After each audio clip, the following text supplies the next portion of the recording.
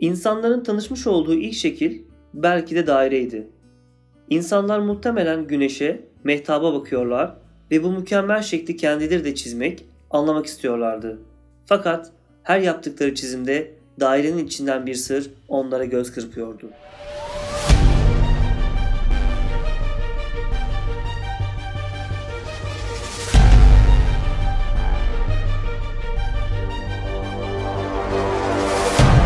Bu oranın bilinen en eski kaydı Ahmes adlı Mısırlı bir katip tarafından milattan önce 1650 sıralarında yazılmış olan ve Rhind Papyrus olarak bilinen yazıdır.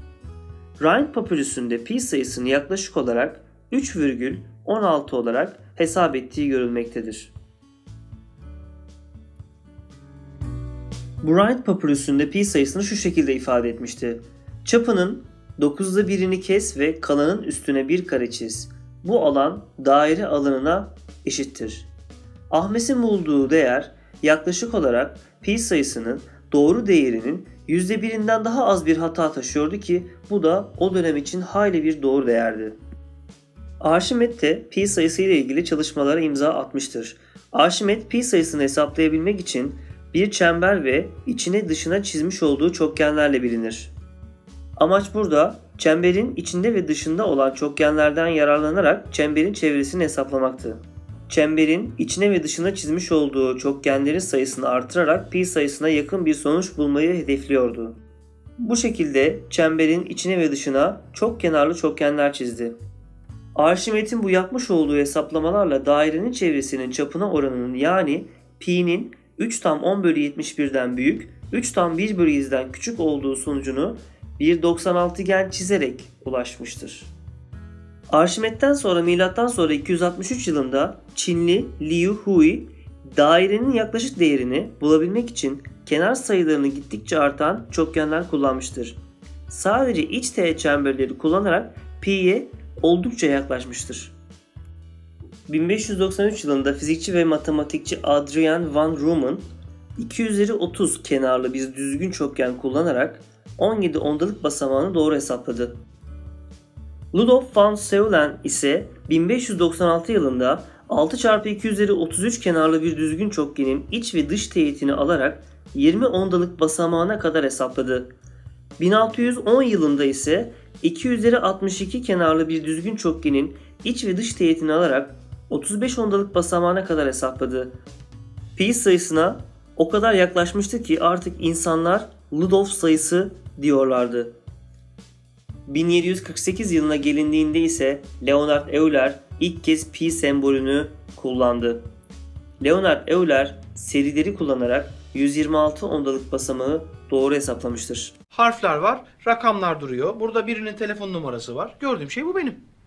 Ya sen pi sayısına telefon numarası mı dedim biraz Pi önce? mi sayısı? Pi sayısı bu muymuş? Aynı zamanda William Jones 1706 yılında pi'yi ilk kez dairenin çevresinin çapına olan oranını ifade etmek için kullandı. Pi, the ratio of the circumference of a circle to its diameter. And this is just the beginning. It keeps on going forever. 19. yüzyılda ise 1806 yılında Fransız matematikçi Legendre pi'nin irrasyonel olduğunu ispatladı. Yani bu pi sayısının sonsuza kadar gittiği anlamına geliyordu. Sonsuzluk. 1847 yılında ise Alman matematikçi Thomas Clausen pi'yi 248 ondalık basamağına doğru olarak hesapladı. 1853 yılında ise İngiliz William Rutherford pi'yi 440 ondalık basamağını doğru olarak hesapladı. 1874 yılında ise William Shanks pi'yi 707 ondalık basamağını doğru hesapladı. İlk elektrikli bilgisayar olarak bilinen ENIAC 2037 haneyi 70 saatte hesapladı 1949 yılında. Bugün ise yaklaşık 13.3 trilyon basamağı biliniyor. 1988'de San Francisco'da Larry Shaw ilk kez Pi gününü kutladı. Pi günü için elmalı turta yapmıştı. Peki bu elmalı turta nereden geliyor? Pi sayısının ilk 3 hanesi tersten okunduğunda pi şeklinde okunur ve bu da turta demektir. Pi sayısını bir zaman çizelgesine yerleştirirsek 2015 yılında Mart ayının 14'ünde saat 9.26 geçe 53. saniyede kutlanmalıydı. Nihai pi günü aslında bugündü. Fakat biz her yıl 14 Mart'ta pi gününü kutlamaya devam ediyoruz. 2010 yılından itibaren her yıl 14 Mart'ta Dünya Pi gününü biz de kutlamaktayız. Dünya Pi gününde çeşitli pi ile başlayan yemekler, pastalar, yarışmalar, eğlenceler ve aktiviteler düzenleyerek Dünya Pi gününü kutluyoruz.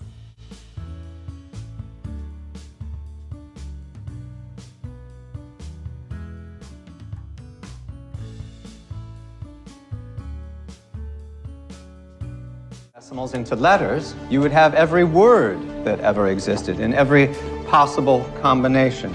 The first syllable you spoke as a baby, the name of your latest crush, your entire life story from beginning to end, everything we ever say or do, all of the world's infinite possibilities rest within this one simple circle.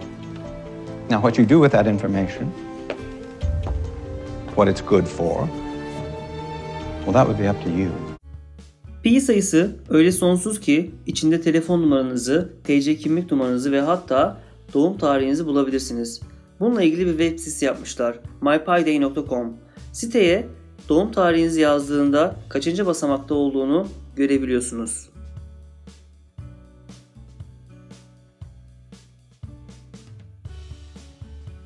What is any of this good for, and uh, when would we ever use it? Pi sayısı günlük hayatta kullanmış olduğumuz birçok nesnenin içinde yer alıyor aslında. Tek yapmamız gereken dikkatimizi vermek ve o dairesel şekillerin içindeki o sırrı keşfetmek.